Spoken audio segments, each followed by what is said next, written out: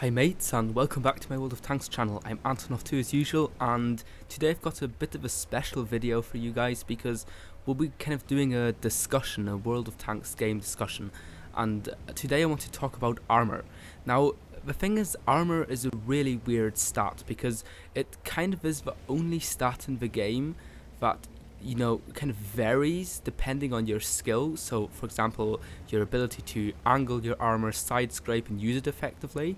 and also in a way it's kind of beyond your uh, beyond your control in many ways because for example it's also the efficiency of your armor also depends on what kind of ammunition your opponent is using and whether your opponent knows the weak spots of your tank and has the enough skill to hit those weak spots effectively. So that makes armor very unique in comparison to a lot of other stats like hit points, accuracy, and so on, that are just a fixed number and do not really change for your tank. Now, the thing is, armor is kind of, or the in the discussion whether armor is a very useful stat or not a useful stat, there is uh, a lot of disagreement. There are people who say armor is really, really important, and others that say, well, who cares about armor really? Uh, it doesn't matter because anyone can fire premium ammunition at you and at the end of the day it doesn't make a difference. So let's have a look at the pros and cons of both sides and then try to kind of figure out whether armor is actually any good or whether it's actually maybe better to just forego armor entirely for better gun handling or something like that and the IS-6 that we're seeing here in the background is really a classical example for a vehicle that depends on its armor and that can also be completely made irrelevant almost by enemies using premium ammunition against it. And that is one of the main problems that uh, premium ammo, since it became uh, available for credits, has kind of made armor, yeah, pretty pretty irrelevant most of the time, and uh, that is very problematic. Now, there was a time also back, uh, this, this is way back in the day,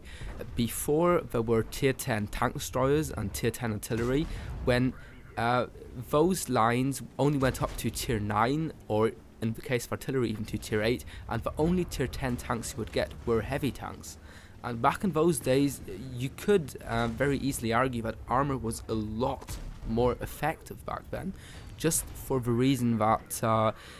you basically had didn't have these massive penetration tank destroyers that would uh, just slice through, uh, say, an E100's turret armor with their uh, just short of 300 millimeters penetration of the standard rounds, and that kind of thing just wouldn't happen back then.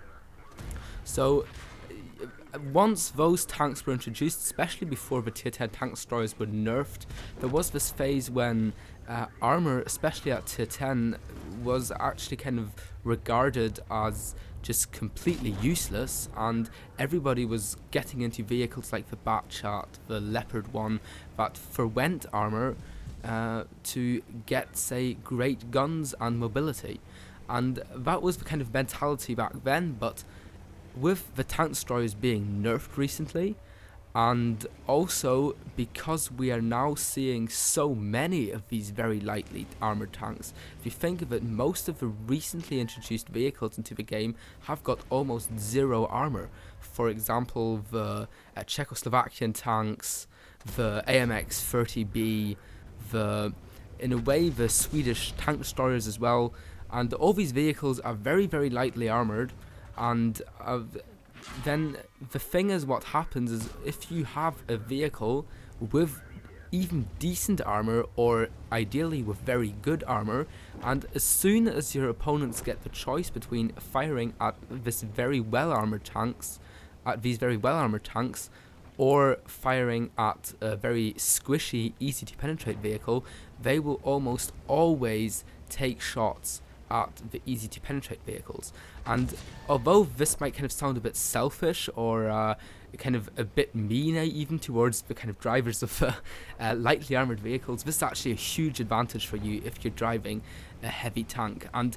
also another thing is that if you have a vehicle like say the E75 where uh, enemies actually to be able to penetrate your tank successfully enemies have to be able to hit your weak spots i.e. the lower glacis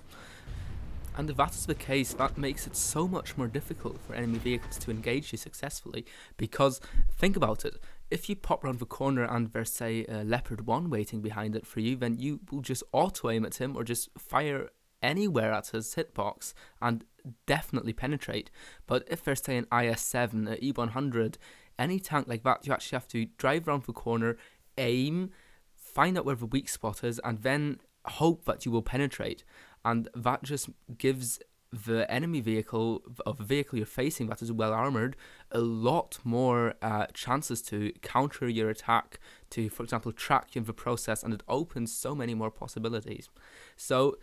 i guess what i want to say is that uh, although armor has become less relevant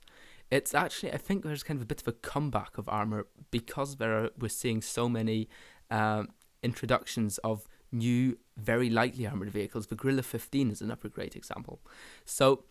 I would just uh, say that although armor is will probably never reach its former glory from way back in the first few years of World of Tanks, I think it's still actually a very good stat to have and probably the most interesting and complex stat in the entire game. And I would just uh, ask you to remember that most players are actually not firing premium ammunition because they do not have the money to spend on it. And most players also do not have the skill level that they know the weak spot of every single tank and have got perfect aim skill and so on. So actually, armor is a lot better than most people think it is, and uh, that's why if I were you, I'd consider armor as a very very useful start and actually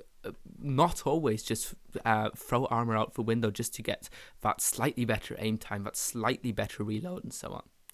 So that's my opinion on armor. Obviously, um, this is kind of just my view, and I would be really interested to hear what you guys think about the subject. Also, please let me know what you think about this kind of video. I've never really done anything like this before, just a pure discussion on something like armor or any other stat or just stuff like that, please tell me if you would like to see more of this or if this kind of stuff bores you. So, thanks a lot for tuning in today. I hope you all have a wonderful Christmas. That's if you celebrate Christmas, and if not, then just have a couple of wonderful days anyway. And uh, tune in for my next videos. Thanks for watching as usual, and I'll see you next time. Goodbye.